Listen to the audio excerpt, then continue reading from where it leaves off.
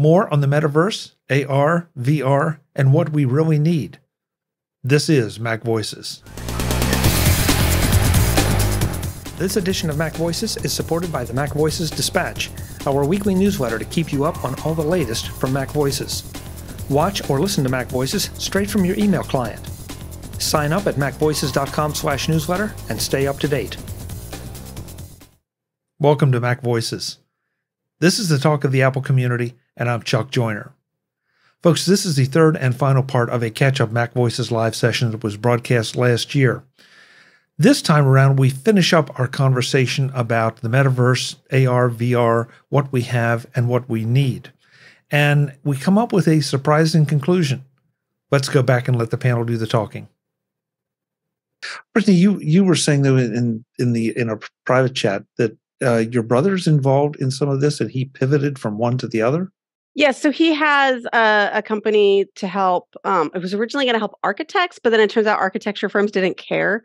So um, they help uh, construction companies who do care about actual how hard it is to build stuff, um, and and they they help them envision the building in advance and to help avoid problems because you can't really visualize it no matter how good you are at looking at those pages the same as standing in it. And so his technology now which is uh, argyle if somebody's interested i think it's argyle.space um, and so rather than standing in it when they pivoted to construction they wanted people to be able to see the construction site while also um, being able to see the, the future building. Um, and now that they have their patent finished, I can talk about it more. Um, but uh, so their first time, they, they have a way to keep it. Construction sites are very messy, and so and constantly changing. So he invented because my brother's that kind of guy a technology so that it would have like consistent places so that when the construction site changed the building would still look the same um, so you put you put it on or put your phone up really, which is what you mostly do. But he does have a what is he using? Leap, something like that. Mm. Um, and not Leap. It's something different, but I cannot remember the name. And you look around the building. Well, the first time you showed this to a construction company, they caught an error with their bathroom construction and it saved them thirty thousand dollars. Nice. And so it, I mean, if you don't have an error, obviously you're not going to see that thing, but you know, if you do, um, and so that's that's the direction they're going now is is visualizing, you know, the space as it's being built, and and keeping up with that. Okay, and forgive me because I, I don't want to sound like I'm argumentative. I'm not trying to pick everybody's points apart, but that one sounds like a, a, a an honest to god useful thing. But it's not the collaboration it is um, not the collaboration, but it, it was a it, that's why I said it in the chat instead of it's not really about the collaboration. It was about, hey, he was going to do virtual reality because it is interesting to physically be inside a building before it is built. Um, but it is less pragmatic and justifiable inside a budget than the one that they pivoted to, which is right. more augmented reality. Yeah, and I mean, look, you know, we get hung up on the uh, where's the difference between augmented and virtual? you know, I mean, who knows? You know, it. But but I I I love the practicality of that. Um, Brad says uh, in the chat, Oculus question mark, and you know, I don't think we're necessarily talking about the hardware here. I think we're talking more conceptually and use case. We can we can all get you know hung up on the hardware that we'll we have now and we will be required to use or have to use to do whatever's going to happen in the in the future. But I think we're I, I just I think it's a fascinating topic. Um, if you, I mean, if it, I'm sure probably everybody here has read Snow Crash. If you haven't, you should by Neal Stephenson. That seems to be, you know, somewhere between that and Neuromancer by William Gibson seem to be where some of this started to to come from. And you know, and and I don't know if that's what Zuck has in his head or you know not. I mean, other than just the fact that he wants it to be Facebook or Facebook oriented or meta oriented that that you engage in. So I let's see what Jeff what Jeff you're well there's a conversation going on in our private chat about um, I guess augmented reality with um, virtual labels, animated displays, and that kind of thing. Between what Eric, Jeff, and Mark, you guys are into this. Oh um, yeah, you you should be part of our conversation, Chuck. I don't know what you're doing here. Yeah, I'm just trying to host a show. Yeah, thank you. Yeah. Um, All right, so the the condensed version. Uh, Eric says he's looking forward to when uh, he can have uh, like an AR experience in a museum. I've been to a few exhibits where that's already a thing, and uh, you get to uh, to the exhibit or to the to a specific display in the exhibit and there's qr codes. And you scan the code and uh, now you're involved in a in an ar thing. And um, and there uh, there was one that i went to where you scan the code at the beginning and uh, and then as you travel through the whole exhibit you have all the cool stuff that's happening there which was an immersive exhibit and then you have the AR element to go along with it, which really enhanced the the whole thing. And um, and then Mark he uh, he made a comment about um, about after that, then you get the uh, the whole remote museum exhibit experience um, that anyone in the world can attend. That's already a thing, and Google's doing that. And uh, and early in the pandemic, when we were all completely locked down, there was nowhere to go, we were all isolated. I was doing uh, museum tours with friends, and we, we'd pick different museums around the world, and we'd be on like a Zoom thing, and we would all be going through this museum together, looking at the exhibits in real time and uh, talking with each other about what we're seeing in real time as if we were actually there. So that that was really cool. And uh, and there you go, Mark. You you were forward thinking without even realizing how forward thinking you were. well, I've seen things at museums. Yeah, yes, there are QR codes, and some you know, have things that you might be able to you know tap into your iPhone. But uh, it, that's uh, you have to be there and present for it. I, I was looking more for the latter things you're describing, where you know, I'm here in San Jose, California. I like to visit the Prado Museum in Madrid. You know, yeah, that's that's what I, am talking about too. That's that's what we did. Like going to see uh, the Frida Kahlo Museum. So um, where where you know what app do you need? Is it just a plug-in for Zoom, or how is it?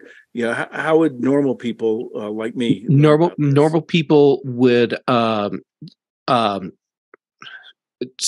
you go through Google, and actually, I think you go through Google Maps. And for the museums where it's an option, then uh, when you get to the museum in Google Maps, then it'll switch the interface for you so that you can have the the whole 3D view in the museum. And then we just uh, did a screen share okay. through Zoom, and uh, and we let one person drive us, if you will, through the museum, and we were all talking about what we were seeing in real time, and there was pop ups um, that that would show information about uh, different items in the exhibits, and it was uh, it was really cool. Sounds really cool. We, we went we went and visited uh, Rome, and looked at uh, at places in Rome, doing that too, and uh, there were a few other museums. Yeah, we are just in Rome, but you know, I love the Prado Museum, and uh, you know, maybe next week, you know, I'll use as a background, uh, you know, my favorite uh, you know, painting in that museum.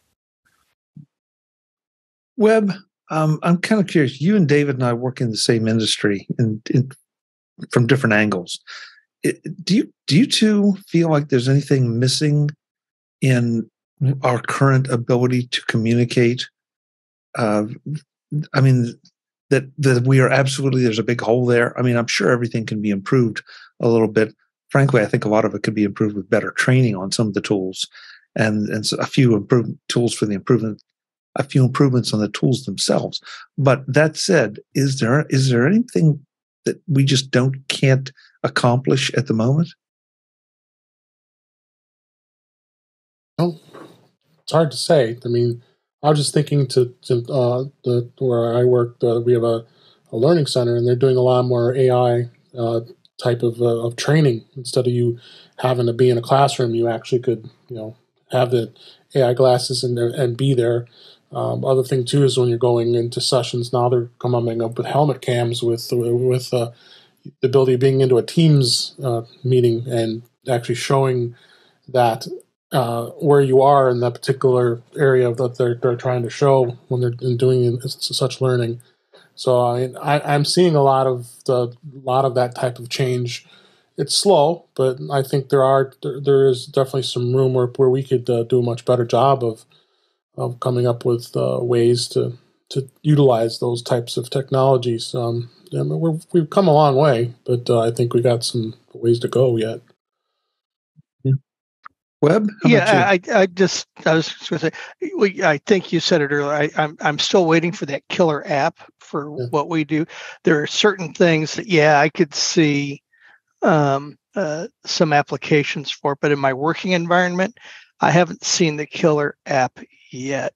Mm-hmm. Um, you know, I, I, I look at you know when, when you say virtual reality, and bear with me, it's going to sound silly, but uh, I, I look at um, flight simulators, not not the type on the computer, but the real ones that pilots go in and train on. Okay, and they, they work in in four dimensions. You know, they they got pitch and roll and yaw and all that kind of stuff that airplanes do. Mm-hmm. Um, and those simulators really work on that. And I'm I'm that that would be impressive if they could figure out a way to to, to simulate that. Uh, I don't know how they're going to do it with that. You know, putting some implant in your brain to make you think that you're hmm. rolling around. But um, yeah, I, am just waiting for the killer app. I, I, I think it, it's somewhere between novelty and toy, but it does have some real good applications, like like uh, uh, what Mark and Jeff said about about being able to visit a, a gallery. Um, uh, going to go see the uh, the the statue of David, you know, is uh, um, uh, one of those things that that uh, is, you know, you can see a picture of it or you can see it in person, but having this virtual reality or augmented reality thing could be kind of that interim thing. So I, there are some things I could see. You know, we're, we're not going to be using it for for claims. For for my world, a, a, a claim is very simple. You either have a heartbeat or you don't. That's it. So um, um, okay. being in the yeah being in the life insurance business so you know yeah okay so if yeah so if if i could build on that uh you know web um uh you know one you know you know 30 years ago silicon graphics and uh, uh again a lot of these uh you know systems are used for you know maybe initially for military applications you know or police applications um, you know, back then there was, you know, an Israeli, you know, software firm that had, you know, things very quickly. You create, you know, uh, from a blueprint, you could create a model of inside a building. You, you know, put on, you know, well, it wasn't goggles. You'd go in a room and you'd have, uh, you know, screens and projectors. You to do a walkthrough to get trained, you know, for, you know, a new hostile mission. I think now, obviously, the technology was so much could be so much better, uh, you know, for for that. But I, I think whoever it was said, you know, in the idea, someone questioned the idea of killer apps. Well, there's a lot of industrial and military, you know, government apps that, uh, you know, they'll just stand on their own. Cost is not an issue. I think for a lot of us, uh, you know, normal civilians, it's going to be about what can it, you know, what can it add to our lives that is uh, not available elsewhere. And Web, to your example of, you know, visiting the statue of David, I've done that, but the problem is you know, the museum is so darn crowded that you know it's yeah I've yeah you, you, it's almost like a check in the box. I saw it, but you could imagine if you had a you know a really good you know virtual model, you know with uh, you know real you know honest God you know photographs and a three D model of the statue, that would be a so much superior you know experience for seeing and appreciating it. Yeah. you know, we were in Rome uh, in uh, in October, you know, just going in, seeing the Sistine Chapel, you know, seeing, you know, being able to see and interact with that, you know, in an empty, albeit virtual space would be so much better than, you know, with people crowding around and somebody, you know, bumping into you. And, uh, you know, so I think there's all sorts of ways that this could really improve on actual physical experience. But it's not these dumb ass ideas of, you know, oh, let me create an avatar that looks like, you know, a cartoon, you know, sitting at a conference table, because that's all, you know, Zuckerberg can think of, you know, for trying to hype his vision of uh, Meta Corporation's uh, metaverse. You know, so uh, you know, I think it's I think it's going to be you know things that really add value to ordinary lives you know, that is really going to make this stuff take off. I think we're now at a point where um, we clearly have enough, uh, you know, uh, telecom, you know, and wireless bandwidth, you know, that uh, you know it's it's feasible to be uh, using the devices, you know, driving along or walking down the street. So, you know, I think now it's going to be a question of uh, you know, creativity of app developers as well as you know can apple or whoever there whoever else is out there can they actually create you know a device that you wear glasses i wear glasses chuck wears glasses eric wears glasses you know where you know this device you know can adjust to our you know glass prescriptions and still present you know a screen you know with uh, all sorts of other computer generated graphic. Because if they can't do that i think it's you know it's it's it's a, it's a strikeout it's going to be a marginal product. You know if if they can do that you know next year or the year after you know because the apple rumors keep changing you know the dream doesn't but the actual rumors do. If they can do that then i think they have you know really you know a, a valuable hit on their hands. Yeah. Web um you're I, I, love the i love the part about your part of our industry you know if, it, if they either either have a heartbeat or don't. Um my side of the industry i can see you know easier modeling of accident scenarios um, becoming very very valuable um, right now, you can do it, but it's it's wildly expensive, as opposed to being able to do it. Maybe, I mean, you, you do it in the case of multiple fatalities, but you don't do it in the case of fender benders. And it'd be really interesting to see how that could, you know, that could affect our industry. Brian in the chat room says, "Wonder if the killer app isn't as much an app, but the way the platform ecosystem integrates with what you already use. In other words, the Apple ecosystem." Um, I think that's a really, really interesting idea, Brian. But Brittany, I want to give you the last word because you you brought up something that I really hadn't thought about. I, and I, you may have just stopped my search for the killer app. well, I, I was remembering that that's what people kept saying about the Apple Watch, but there really wasn't one. They added features and continue to add features. And oh, right, the people aren't really using it for this. Things need to be quicker, more health metrics and it's collectively valuable enough for many people to get until it's you know one of the most popular ones in the world. And so lots of people have them it's much less niche you know my parents have them um but but there was never a killer app. It just was pretty stable and pretty good. Yeah that's i i hadn't thought about it that way because you're right. We were looking for a killer app for the watch, and you can probably argue, depending on your interest, right? Any one of the any one of the capabilities is the killer app for you, but it's the the value overall of the experience that is is really what does it. So right, like Dave wanted his to charge faster, and he upgraded last year.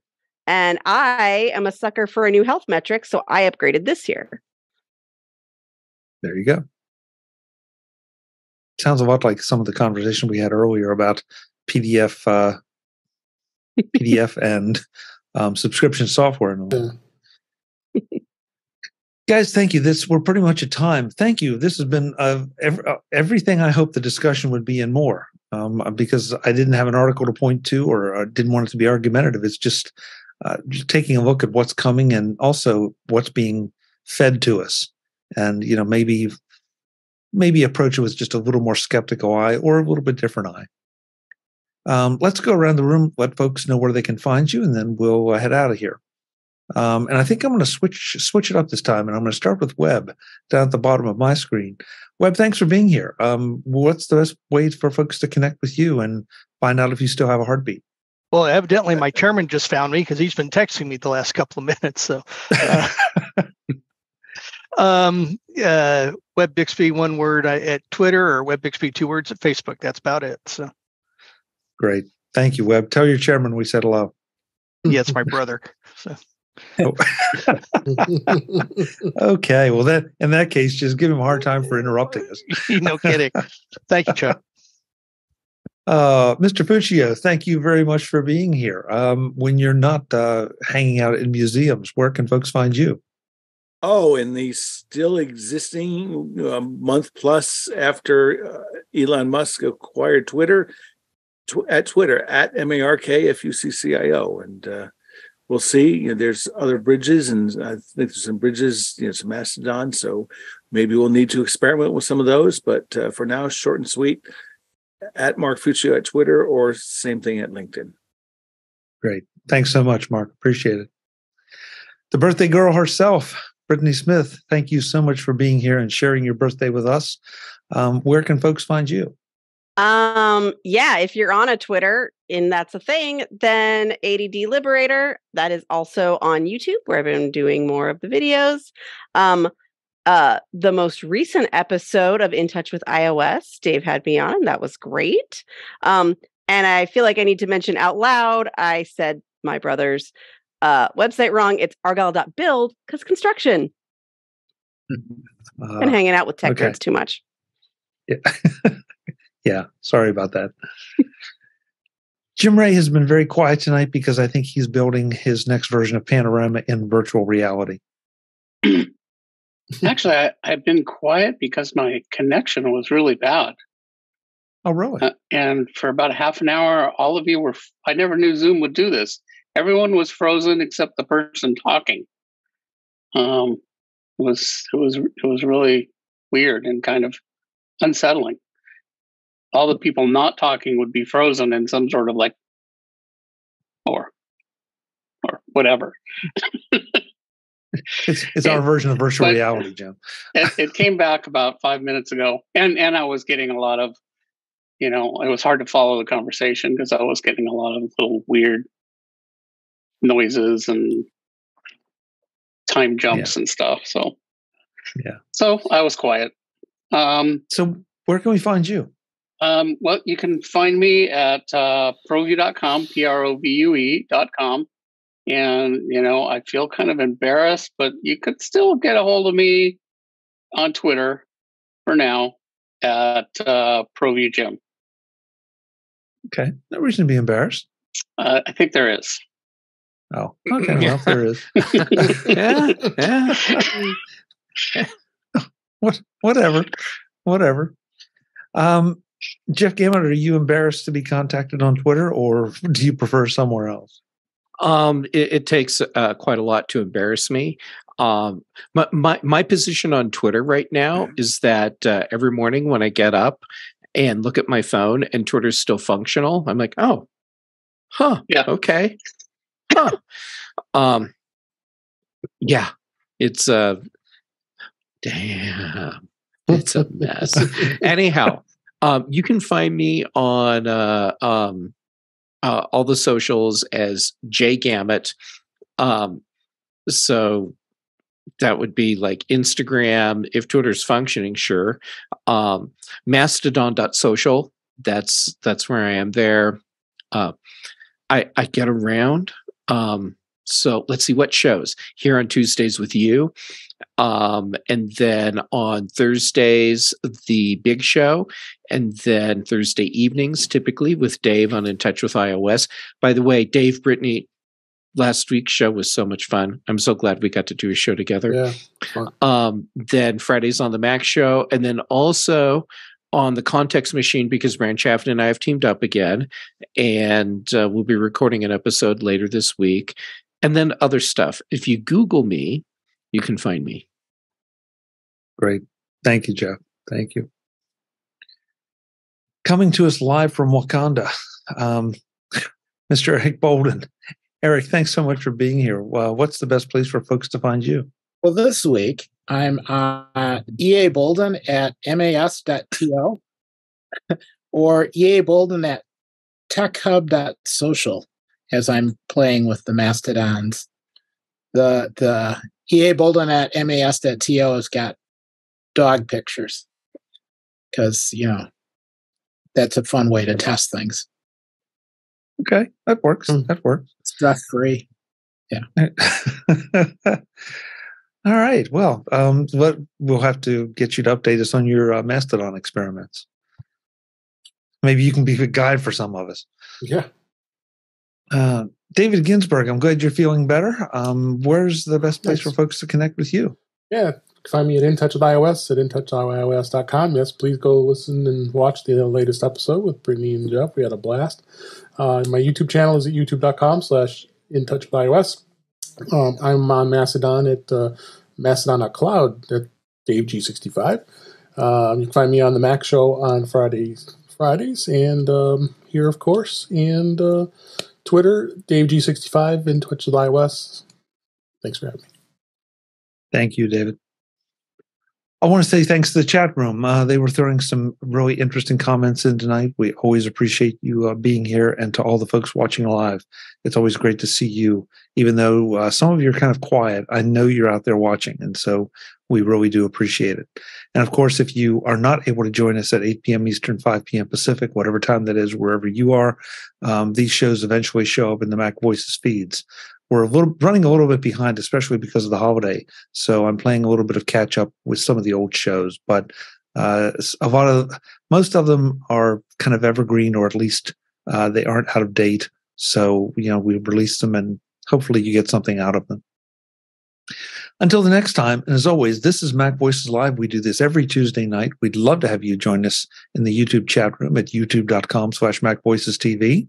And so set your favorite uh, voice assistant, whatever it is, or just scribble it down on a calendar somewhere and join us. We'll see you next time. Thanks for watching. Visit MacVoices.com for show notes and to connect with Chuck on social media. Get involved in our Facebook group or like our Facebook page, and get more out of your Apple tech with Mac Voices Magazine, free on Flipboard and on the web. And if you find value in it all, consider supporting us through either our Patreon campaign at patreon.com slash macvoices or by making a one-time donation via the PayPal link on our front page and in the show notes of each episode. You will join these fine people who help bring you Mac Voices.